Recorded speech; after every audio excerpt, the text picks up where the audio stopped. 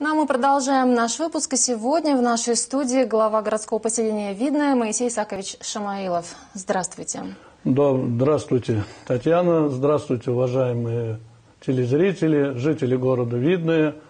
И как я уже сейчас э, все больше привыкаю к городскому поселению, потому что, конечно же, кроме города у нас есть еще несколько населенных пунктов. 20 сентября вы вступили в должность. Расскажите о первой работе, которая уже ведется, о том, какие шаги сделаны.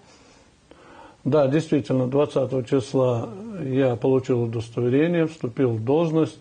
Ну, во-первых, конечно, хочу всех поблагодарить, э, тех, кто меня поддержал, кто пришел на выборы, кто поверил мне, кто доверил мне. Постараюсь, безусловно, оправдать. Э, понимаю, что не просто, все сложно. Очень много вопросов есть в городском поселении, особенно в городе Видное.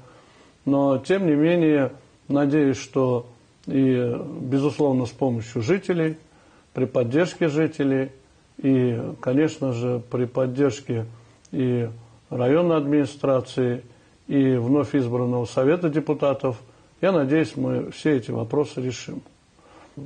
Вот так уж случилось, что по э, полномочиям э, нам были переданы военно-учетные столы. Вот первое, что мы сделали, первые мои шаги, это принятие э, этого отдела, то есть э, полностью военно-учетный стол перешел на работу в администрацию городского поселения, э, люди приняты на работу э, переводом. Вот это вот э, первый такой шаг, и сразу вот столкнулся с вопросом, касающимся полномочий.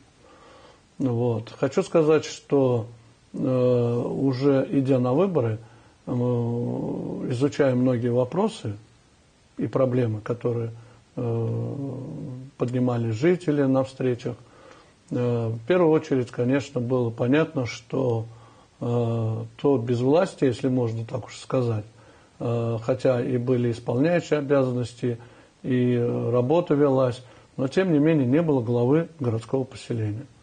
Этот э, четырехлетний период закончился.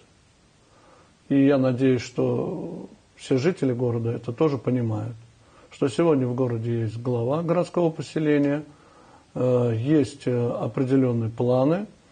Я уже сказал, что начинается формироваться некий аппарат – и мы будем потихонечку, не создавая никаких революционных ситуаций, заниматься вопросами и благоустройства, и хозяйственными вопросами, и транспортными, и многими другими социальными вопросами городского поселения Винны.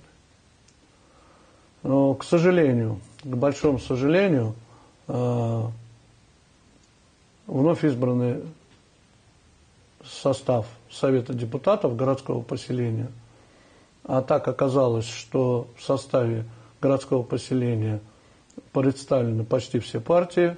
Это 10 человек КПРФ, 6 человек Единая Россия, 2 человека ЛДПР и по одному человеку от партии Справедливая Россия и Рост. Ну, я такой человек, что готов работать со всеми.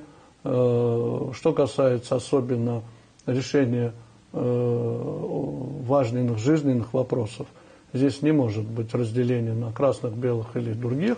Здесь э, работа должна строиться конструктивно, по-деловому и только на пользу жителей. Но уже столкнулся с рядом вопросов.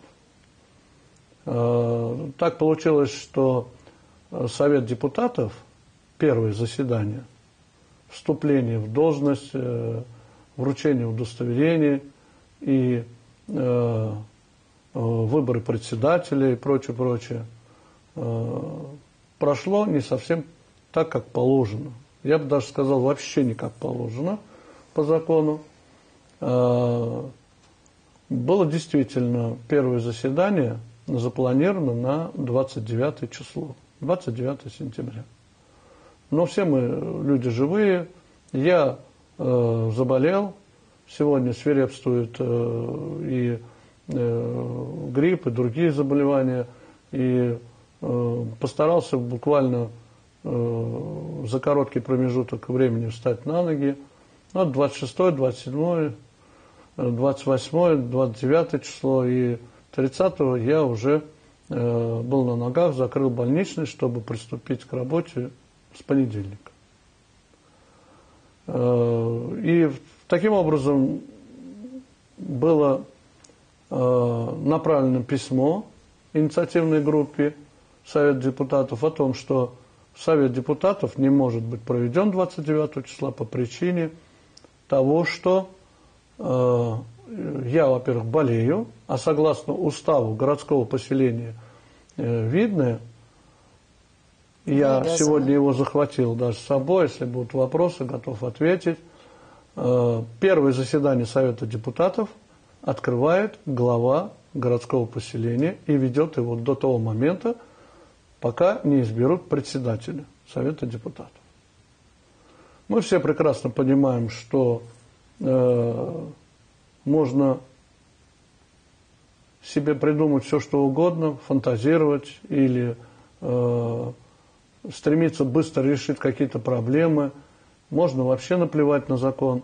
Но закон есть закон, его надо соблюдать. Я сказал, что я выхожу 2 числа, и 4 мы проведем совершенно спокойно этот совет. И некуда спешить, потому что э, по действующему уставу первое заседание должно быть проведено в течение 30 дней со дня выборов. Таким образом, 4 октября как раз вписывается в эту дату. Не вижу никаких проблем, тем более мы все понимаем, что большинство так или иначе бы проголосовало за кандидатуру, которую выдвигали представители фракции коммунистов. Нет никаких сомнений. Ну что теперь делать-то? Какой выход? Но э, завтра Совет депутатов состоится. Э, мы его все-таки должны провести. Но, честно говоря, я просчитываю все варианты, понимаю, что люди не готовы к конструктивному диалогу. И главное, не понимают, что те обещания, что я давал, так или иначе будем выполнять. Мы действительно будем пере, э, принимать обратно полномочия. Естественно, не в полном объеме и не сразу, потому что вот э, жителям могу объяснить, что если мы сегодня начнем революционным образом действовать, то с 1 января 2018 года улицы города будут не убраны, заниматься будет некому, потому что процедурные вопросы передачи полномочий обратно от района к городу достаточно серьезные, очень юридически непростые, и надо соблюдать все нормы. Не вижу проблем в том, чтобы район сегодня продолжил осуществлять свои полномочия, которые мы им передали, согласно соглашению, которое подписано э, прежним руководителем до 31 декабря 2018 года.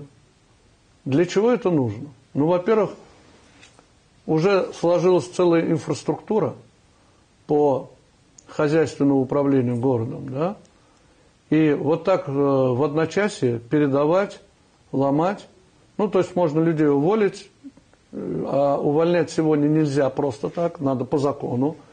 То есть уведомление за два месяца, как минимум. Процедурные вопросы, связанные с бюджетом, с финансами, со многими другими делами. Это непросто. Так, вот даже люди, которые переезжают с одной квартиры на другую, понимают, что это такое. Мы сегодня пытаемся разрушить, не создав ничего. Вот первые шаги э, большинства в Совете депутатов настораживают. Несмотря на то, что и в предвыборный э, период, и после того, как выборы состоялись, я ни разу не дал повода для того, чтобы усомнились в том, что я готов работать конструктивно, в тесном взаимодействии со всеми структурами – Сегодня пример этому наш президент, который работает со всеми партиями, находит общий язык, и, слава богу, страна идет вперед. Не могу понять, почему нельзя это сделать в маленьком городе Видно. Надеюсь, что меня услышали. Я еще раз говорю, мы полномочия будем брать очень аккуратно, не спеша и вдумчиво, понимая, что каждую деталь надо посмотреть. Нельзя просто сегодня ударить по рукам, взять, а завтра увидеть, что нет метлы, нет техники, нет никаких реагентов, нет даже людей, которые будут заниматься городом. Наверное, любой период, он переходной. Только революцию в 17 году можно было осуществить таким образом, чтобы потом 70 лет не знать, как этой стране жить. Сегодня уже эти методы никого э, не прельщают. И я думаю, что особенно молодежь и особенно молодое поколение, э, да и взрослые, наверное, должны понимать, что э, начинать работу надо с позитивного, дружеского и хорошего диалога. Спасибо вам большое за то, что пришли к нам в студию. Я напомню, угу. что в нашей студии сегодня был глава городского поселения Видное Моисей Исакович Шамаилов.